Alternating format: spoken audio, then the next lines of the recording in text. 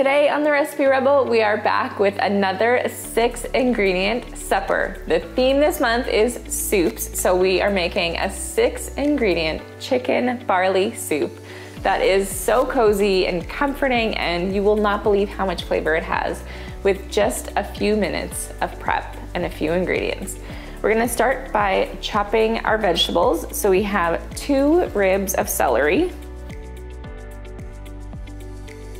I'm also gonna chop up three large carrots and half of an onion, and that's it for our veggies.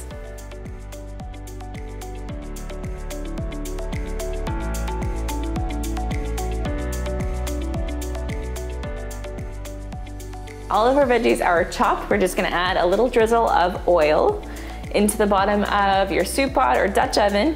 We're gonna turn it up to medium high heat and give our veggies a quick saute. We want them just softened. They don't have to be browned.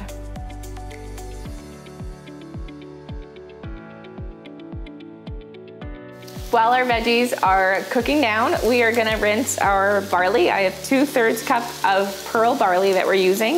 I'm just gonna give it a quick rinse under some water.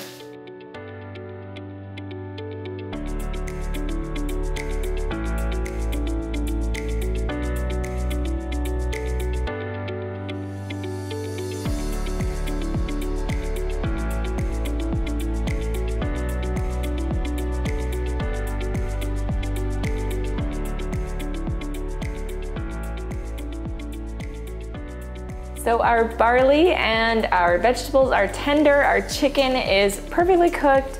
We're just going to pull it out onto our cutting board, shred it up, put it back in a soup, and then we're ready to serve.